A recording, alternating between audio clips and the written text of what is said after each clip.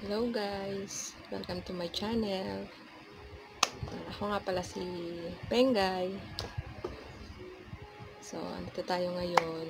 I-share lang ako sa inyo ng isang lutuin na sigurado naman eh makakain ng inyong mga bagets. So, keep on watching.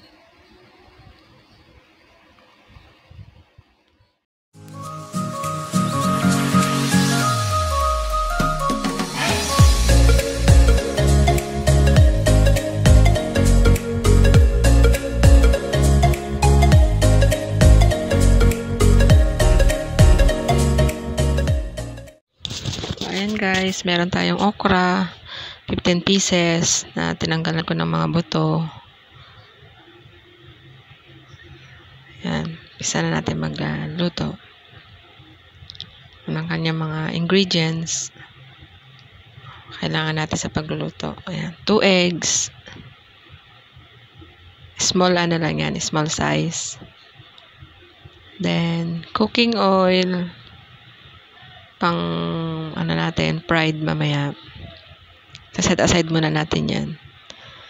Then, patis or fish sauce. Yan. 1 tablespoon din yan. Then, 1 tablespoon din na minced garlic. Tinadtad ko talaga siya.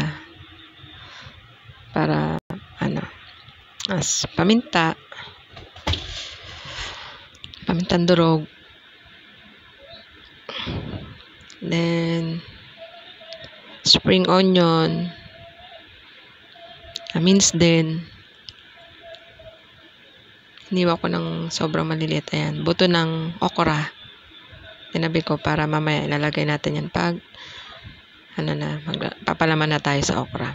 Yan. 1 tablespoon na all-purpose flour para medyo kumapit yung ano natin. Egg at saka ano dun sa ano okra. Yan yung paglalagay natin mamaya. Ng ating mixture. Kasi yan kung paano natin nakita ko paano natin lalagyan natin mamaya yung okra. Then meron tayong panel or bimbudo para ilagay dyan sa ano gagamitin natin pag yan guys.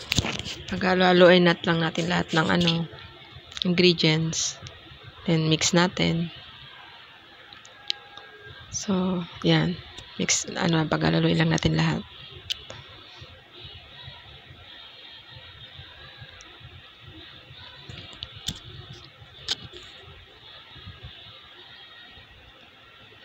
Sama-samain. Halo-haluin.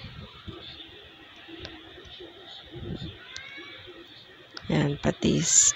Kita nyo guys, patis lang yung ginamit ko pang palasa natin. Hindi na ako nag-ano na salt kasi medyo parang tatabangan ako pag asin lang. So, ayan. Depende naman sa ano